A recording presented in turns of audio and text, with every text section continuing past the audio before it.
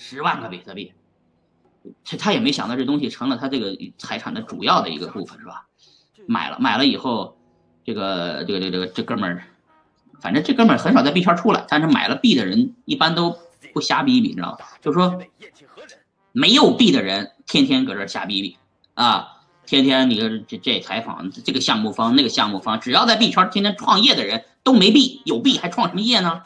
对不对？你看我就没有创业，我没公司，我也没员工，我 一个人吃饱全家不饿啊。所以呢，就是就简单说这意思吧。那没办法的人才创业，那有币的人是不创业的啊！不要跟我谈什么理想情怀，有那么多币你还创什么业呢？对吧？不创业了啊。然后呢？就这个 FBI 这帮这边这批币一卖，中国币圈，哎，好，真好，比特币，真牛逼呀！啊，看来这比特币是被认可的，这么多机构在买，这一定是有价值的。然后当时候呢，一一七年，呃，不是一七年之前有 ICO 之前，我告诉你们，当时候中国的币圈天天都在翻译啊，做字幕组、翻译组，就是美国只要有什么新的东西，就把这东西翻译过来。啊，然后说，哎，你看美国什么时候说了？美国怎么怎么说了？当年我们就太不自信啊，因为当年我们还没有这个什么“一带一路”，还没有这个中国崛起啊，这这这还没有信心啊，对呀。现在不一样了啊，现在我们中国直接搞了一个数字人民币 DCEP，已经在深圳罗湖还有苏州试行了，就是区块链技术。我一哥们儿就在那里面负责这负责人啊，真牛逼啊！就是这，就是我。美国还没有把美元发成数字人民币吧？哎，数字美元吧，是吧？这是，但是这个中国已经国家央行来发行数字人民币了。哎呀，我这就又讲到了现在了啊！我还没过去还没讲完呢，回来接着讲过去。呃，世界上有两种人，一种是有币的，一种是没币的啊。你属于有币的还是没币的啊？弹幕上打一遍，公屏上打一遍，我看看啊，没币的。没币的就就是老实说没币，哥们儿没币啊，没币扣个一也行啊，没币扣个一啊，我看看有多少没币，没币是正常人啊，没币是正常人，扣一的人都是正常人，就扣就是有了币的人很不正常，因为有了币的人为什么不正常呢？因为有了币的人呢都。都是投机分子，极其利己的投机分子啊，都是投机分子，极其的投机啊！这个，这个，这个，好啊，没没，我给你们讲讲啊，就是没币的人，你可以，你可以去有一个完美的人生，为什么呢？你可以去，呃，享受一个从无到有。啊，慢慢的去，哎，去去去赚钱，去投资，去创业，去，呃，经过比方说十年、二十年的努力，终于哎财务自由了，然后老了退休了，你可以完整的享受这个过程。有币的人是什么样的人生呢？五年、七年，财务自由了，特别的空虚啊，人去人生失去了意义啊，没有了方向啊。就无所事事，一夜之间就财务自由了，你还有啥意思，是吧？人生缺少了这个奋斗的过程啊，躺着就赚钱了。所以呢，这个不建议大家去买比特币。买了比特币，我操，你就财务自由了，完了你就这个这个，哎，这就没想没什么意思啊，这个特别没意思。我身边的人好多啊，这样的买了比特币就颓废了啊，生命失去了意义啊。呃，提早进入了退休年龄啊，特别没意思，特别没意思啊！这个行业的这个 OG 啊，老炮儿啊，这个呃都不是正常人，就拿着到现在拿着比特币，这个拿着比特币还不卖的人，就是一群疯子。我认为就是啊，就是什么叫疯子呢？你说他妈的比特币，他是五百块钱买的，一千块钱买的。他就是六千块钱买的，他也现在应该卖了呀，对吧？怎么着也得卖几亿美金出来，为什么他们不卖呢？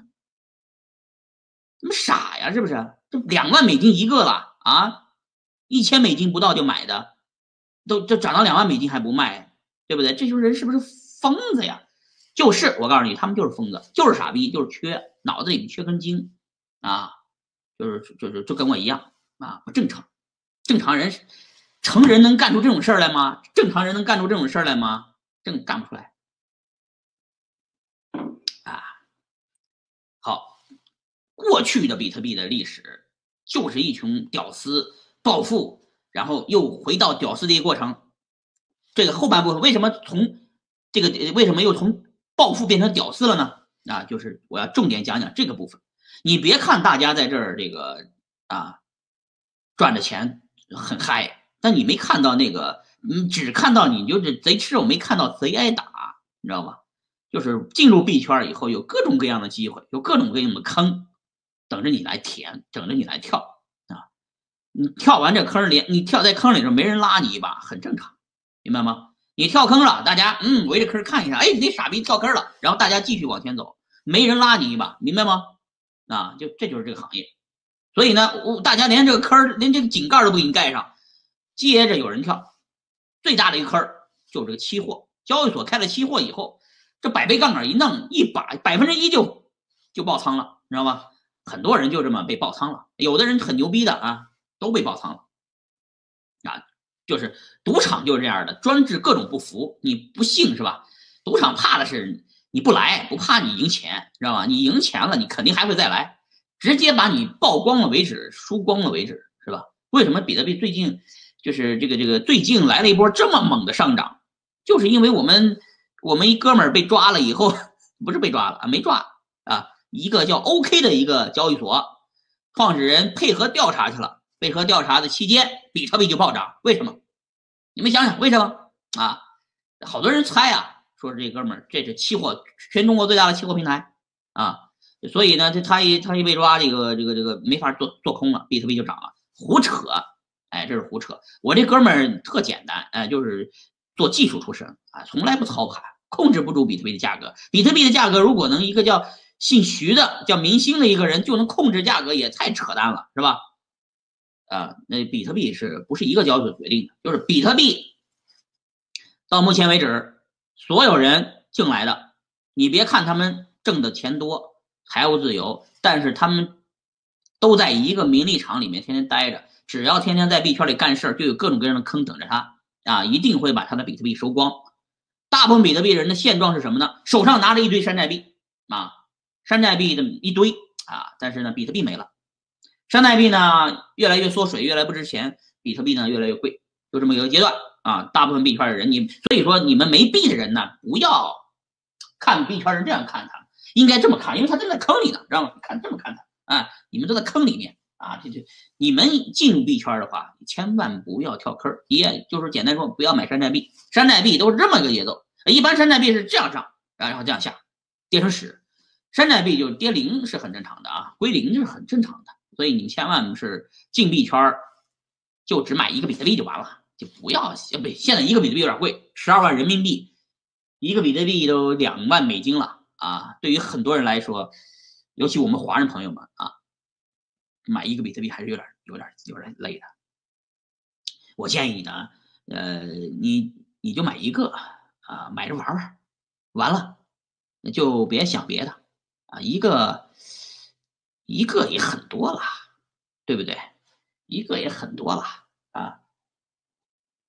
假如比特币很牛逼，你买一个不就完了吗？一共全世界的两千一百万个，除了丢了那个，还有被呃被被被除了丢了的，还有这个这个被冷钱包里面作废了的一些币，就丢了私钥的那些币。那大部分的币现在也就只有一千万个币，一千万个币你有一个一千万分之一了，可以了啊。要那么多币干啥？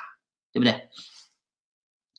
所以我的建议是，你们呃千万别进币圈，进了币圈不要跳坑，坑随时有啊。所有现在在币圈里里边的人，就是比特币没了的人多的是，大部分都拿着一窝一斗山寨币啊。所以说，比特币的人都是先暴，你们看到比特币是先暴富，然后又跌成屎。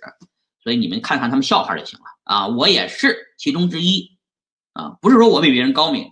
就是说我也是跳过无数坑以后，我现在只拿比特币，其他也不动，啊，好，这是我说的比特币的过去啊，这个过去这里面有一些事情你们还需要了解啊。好多人在美国的人不太清楚，呃，咱们给他们做做科普，他们不知道中国有一个中国十四亿人里面有有一亿的人是专业从事一个行业的，就是直销传销这个行业的，或者叫资金盘吧啊。这个行业呢，给他们简单普及一下。原来这些人呢是卖安利的啊，卖玫琳凯啊。